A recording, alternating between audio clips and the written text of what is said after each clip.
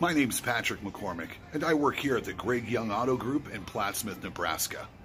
I just wanted to make a small video, say hi to you, so that you can put a face to the voice.